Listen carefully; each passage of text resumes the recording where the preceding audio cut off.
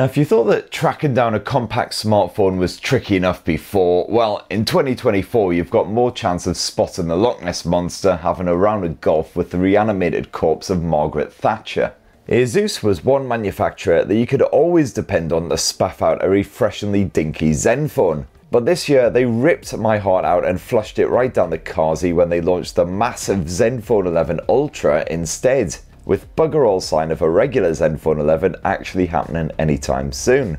But before you start sobbing into your plate of chocolate hobnobs, do not worry, your Uncle Spurt is here to help. Here's my pick of the best mini mobiles you can grab yourself right now in 2024, and I've done full reviews right here on TechSpurt. Now, first up, one of the only dinky phones to launch so far this year is Samsung's Galaxy S24 an 800 quid flagship that measures a palm friendly 6.2 inches with a reassuringly rugged and water resistant design. I switched to the regular Galaxy S24 from Samsung's oversized almighty S24 Ultra, and not only is the vanilla model much easier to use one-handed, but my groinal region was much happier every time I squeezed it into my jeans. Like with the regular S24, I could have it there in my pocket and still do squat thrusts if I ever fancy doing a squat thrust. What actually is a squat thrust? You've got a lot of AI type shenanigans that Samsung can't stop banging on about, just like Google's Pixel phones. Although the Galaxy S24 is powered by Samsung's own Exynos chipset here in Blighty, rather than the Snapdragon 8 Gen 3. And this certainly feels the strain when gaming on the likes of Genshin Impact, and it can make the S24 a rather toasty wee chap. And yeah, the battery life is merely okay, not great. But besides that wee bit of griping and the fact that the storage starts at a meager 128 gigs and is not expandable, as always, the Galaxy S24 does pack a lot of premium hardware.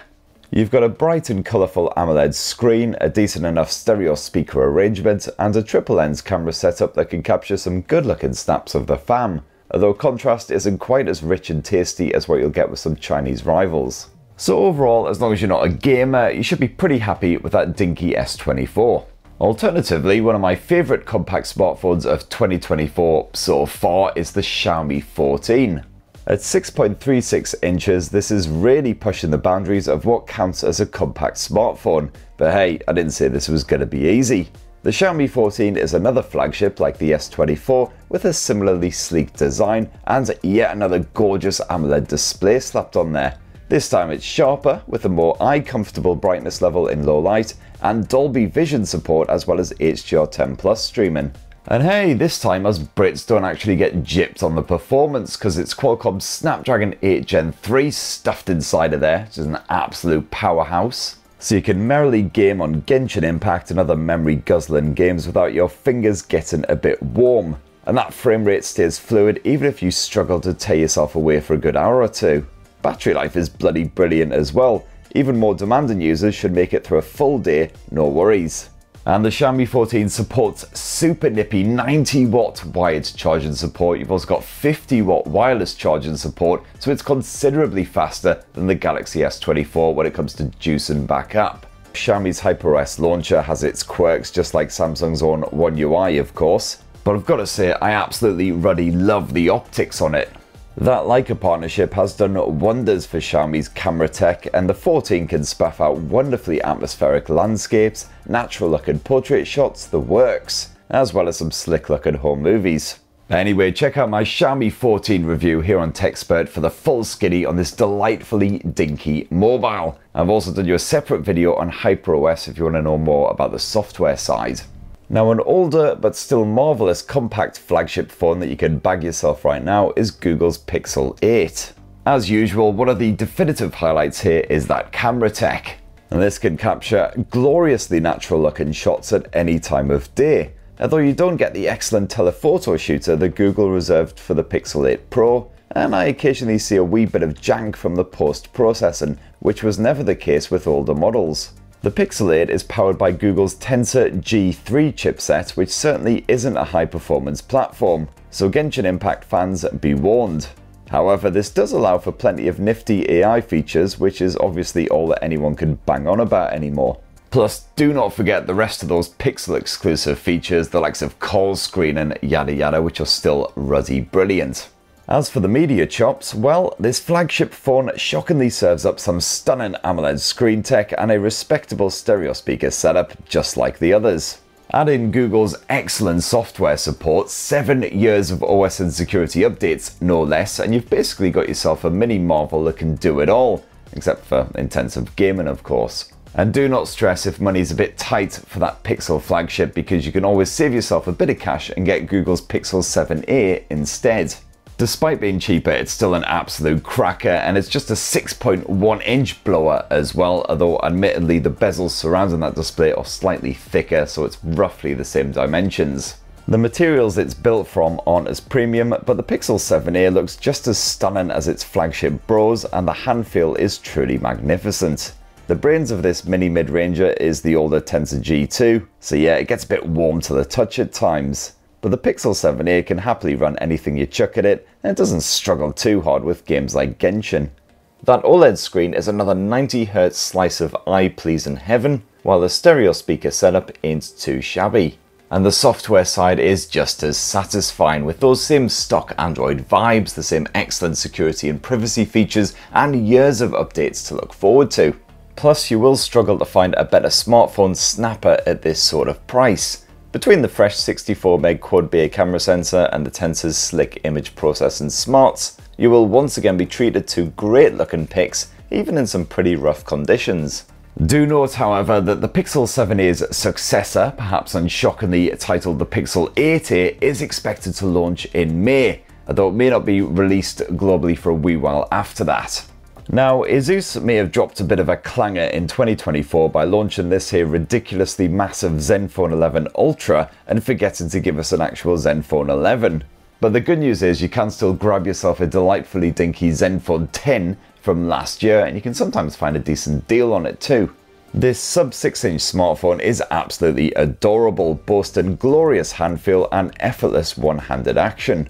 In fact, the only problem is it's so dinky and lightweight that occasionally you'll have it in your pocket, you'll be strutting your way down the street and suddenly you'll do the whole trouser slapping. Oh bollocks, where's my phone? Someone's nicked my phone. Oh no, wait, no, it's, it's still in there.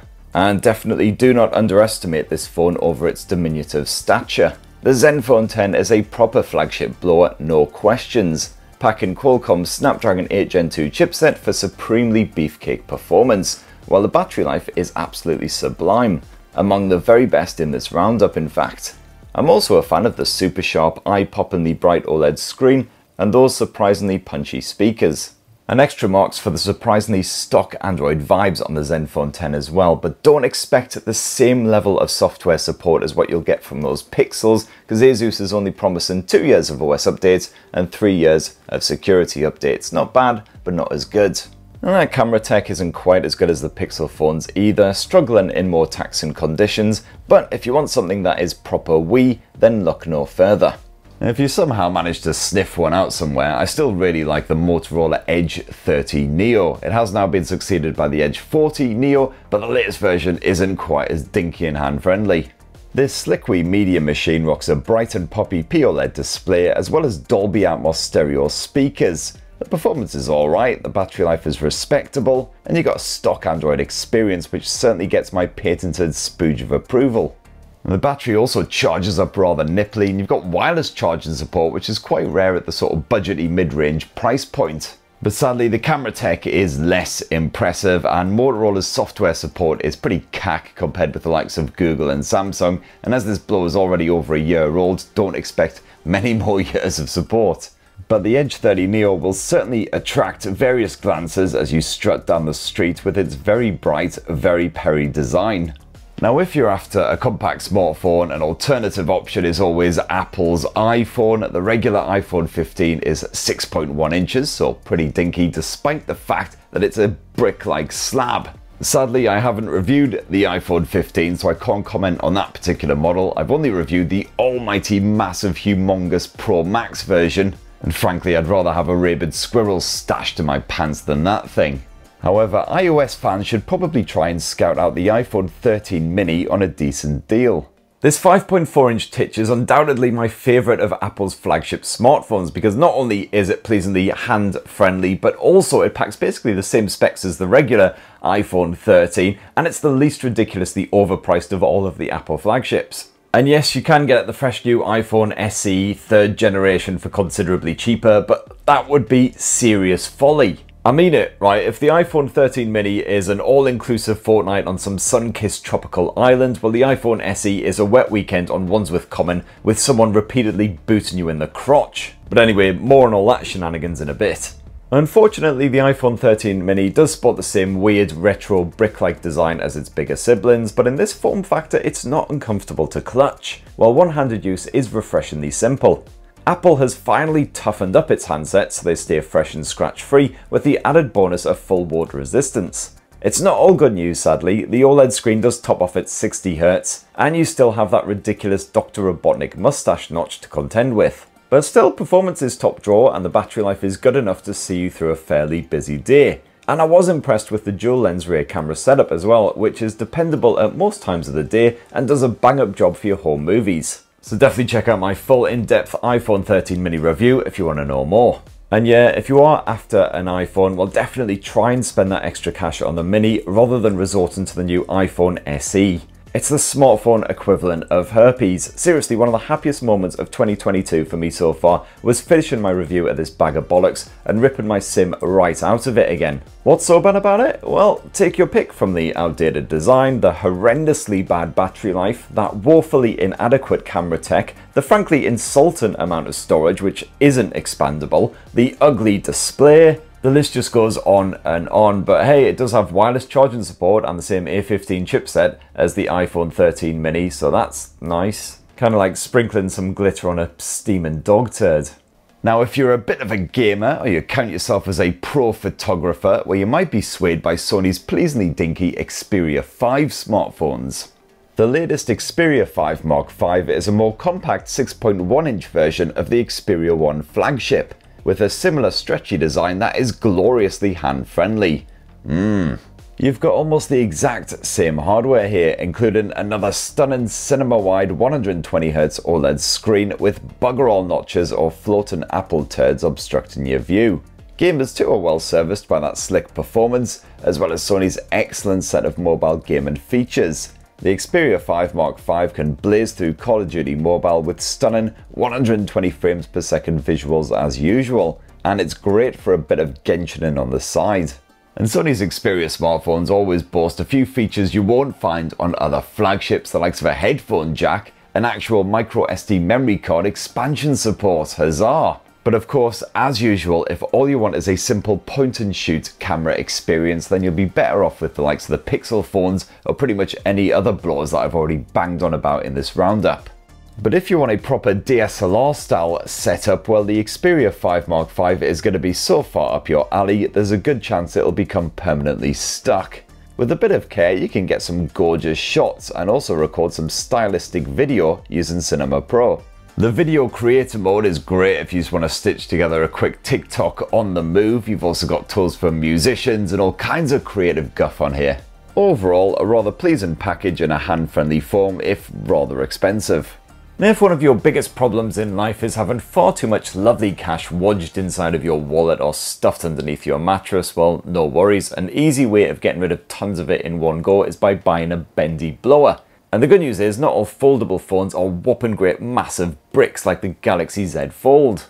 For instance, the Motorola Razr 40 Ultra is ridiculously wee when it's all folded up, so you can shove it anywhere you like, although certain bodily orifices may be a literal stretch. The big whoop for this Razr generation is the super-sized external screen which supports any app out there, with mixed results naturally, but it's refreshing being able to switch albums in Deezer, or do a quick Google search or whatever without bothering to flip this adorable bugger open. You've also got some decent widget support and even some silly little games to kill a couple of minutes while your Ginster's cheese and onion pasty is being blasted in the microwave. However, whip the Motorola Razr 40 Ultra open and you've got a massive 6.9 inch LTPO OLED screen for playing games, enjoying a bit of the Netflixes, whatever you fancy. With up to 165Hz refresh so everything stays as smooth as my Bonsall smothered in lard. This latest Moto Razr is powered by Qualcomm Snapdragon 8 Plus Gen 1 so it can handle Genshin Impact, PUBG, any title you chuck at it without collapsing into a wheezy heap. The battery life is a bit better for this generation too, although that camera tech is still merely fine, and the asking price, well it's not bad for a foldable, but it still ain't exactly cheap. So as much as I love this handset, it's certainly in for anyone on a budget. You've got quite a few other options in 2024 when it comes to compact foldables from the likes of Tecno, ZTE, etc. One of the better ones is the Oppo Find N2 Flip, which boasts a clever and inexplicably hilariously named Flexion hinge for a near crease-free finish on that internal display. But sadly that bloody huge cover screen isn't quite as versatile or as fun to use as the Razr phones. And Samsung also offers its own compact foldable in the form of the Galaxy Z Flip 5, which you can usually find a decent deal on, otherwise it will empty your wallet to the tune of almost a grand. For this fifth iteration, they finally sorted out the dodgy hinge, so now at long last we've got a gap-free finish. And it's also IPX8 water resistant, which frankly is kind of bonkers for a foldable. That cover screen has ballooned in size to 3.4 inches, and with a bit of jiggery pokery you can run any app you like on it, just like the Moto Razr. Whip this bad boy open and the Galaxy Z Flip 5's mighty 6.7 inch dynamic AMOLED screen unfurls before your very eyes. It's great for watching a bit of video, multitasking with apps, or getting your Genshin on. Whatever you fancy, it should run well thanks to the Snapdragon 8 Gen 2 smarts. You may want to plug in some headphones though, because the so-called stereo speakers ain't great. And that battery life is sadly sphincter clenchingly mediocre, so chances are you'll finish most days in power saving mode. As for the optics, well that dual lens camera is fine for shooting everyday snaps, as long as you don't try testing it too hard in tricky lighting. But as always, you can use the rear cams to snap a selfie, thanks to the cover screen preview type situation. And if you're an old git like me, you might well appreciate the fresher limited edition retro version of the Z Flip 5, which I've also unboxed right here on TechSpurt, featuring a nostalgic design and some proper Samsung collectibles bunged in the box. And there you have it, my lovelies. That is what I think is a pretty comprehensive look at the best compact smartphones you can grab yourself in 2024. As you can see, a dwindling number every bloody year. But have I missed out your own personal pick for the best mini mobile of 2024? Well, certainly let me know what a massive clagnut I am down in the comments below. And if you want to know more about any of these smartphones, what I banged on about, well, definitely check out the full reviews, unboxings, etc. right here on TechSpurt. Please do book subscribe, ding that notifications bell for more on the latest and greatest tech, and have yourselves a ruddy, wonderful rest of the week. Cheers, everyone. Love you.